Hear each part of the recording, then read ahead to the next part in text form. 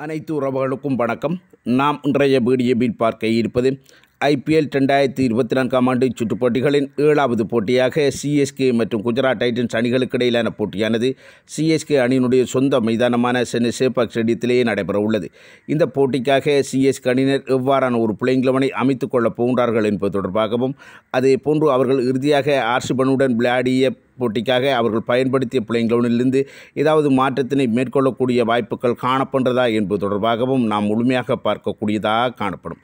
அதன் அடிப்படையில் பார்க்கின்ற சந்தர்ப்பத்தில் இறுதியாக சிஎஸ்கே அணியினர் விளையாடிய ஆர்சுபணிக்கு எதிரான அந்த போட்டியிலே அவர்கள் அமைத்து கொண்ட பிள்ளைங்களுமல்லே மிக முக்கியமான நான்கு வெளிநாட்டு வீரர்களை பயன்படுத்தியிருந்தார்கள்.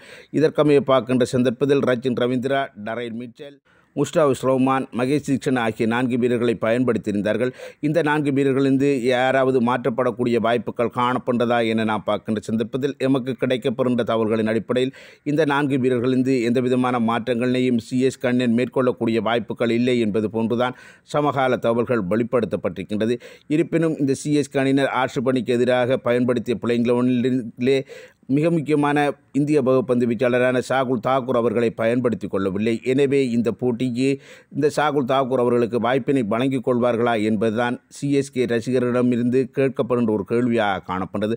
அதற்கமைய இந்த சாகுல் தாக்கூர் அவர்களை அணியிலே உள்ளீடு செய்கின்ற சந்தர்ப்பத்தில் அவர்கள் துஷார் தேஷ்பாண்டே அவர்களை வெளியேற்றிக் கொள்ள வேண்டிய ஒரு கட்டாயத்தில் காணப்படுவார்கள். இதற்கமைய அதற்குரிய வாய்ப்புகள் காணப்படுறதா என நான் பார்க்கின்ற சந்தர்ப்பத்தில் எமக்கு கிடைக்கப்படுகின்ற தகவல்களின் அடிப்படையில் சிஎஸ்கே அணியானவர்கள் ஆர்ஷிபணிக்கு எதிராக பயன்படுத்திய பிள்ளைங்களவனையே இந்த போட்டிக்கும் பயன்படுத்திக் கொள்ளப் பூண்டார்கள் என்பது தொடர்பான ஒரு தகவல் கிடைக்கப்பட்டிருக்கின்றது. ஏனென்று பார்க்கின்ற சந்தர்ப்பத்தில் ஆர்ஷிபணிக்கு எதிரான போட்டியிலும் ஒரு மிகச்சிறந்த ஒரு வெற்றி ஒன்றினை பெற்றிருப்பதன் காரணமாக இந்த அணியிலே எந்த விதமான மாற்றத்தினையும் மேற்கொள்ளாமல் அதே பிள்ளைங்களவனை களமிறக்குவது என்பதுதான் அவர்களுடைய வியூகமாக காணப்பட்டது இதற்கமைய சிஎஸ்கே சிஎஸ் அணியுடைய பிள்ளைங்களவனை பார்க்கின்ற சந்தர்ப்பத்தில் தொடக்க வீரர்களாக ருத்துராஜ் கெய்க்வாட் ரச்சின் ரவீந்திர ஆகிய வீரர்களும் அதனைத் தொடர்ந்து மூன்றாம் இலக்க வீரராக அஜிங்க ரஹானி நான்காம் இலக்க வீரராக டரைல் மிச்சல் ஐந்தாம் இலக்க வீரராக சிவன் டூபே ஆறாம் இலக்க வீரராக சமீர் ரிஸ்பி ஏழாம் இலக்க வீரராக ரவீந்திர ஜடேஜா எட்டாம் இலக்க வீரராக எம். எஸ். டோனி ஒன்பதாம் இலக்க வீரராக தீபக் சகார் பத்தாம் இலக்க வீரராக முஸ்டாபிஸ் ரோமா மற்றும் பதினொன்றாம் இலக்க வீரராக மகேஷ் தீக்ஷன் ஆகிய வீரர்களையும் அதே போன்று அவர்கள்